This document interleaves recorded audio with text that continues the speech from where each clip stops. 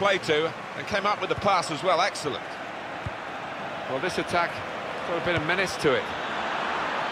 Going to try one now. And such quality in the build-up and a brilliant finish. A wonderful goal.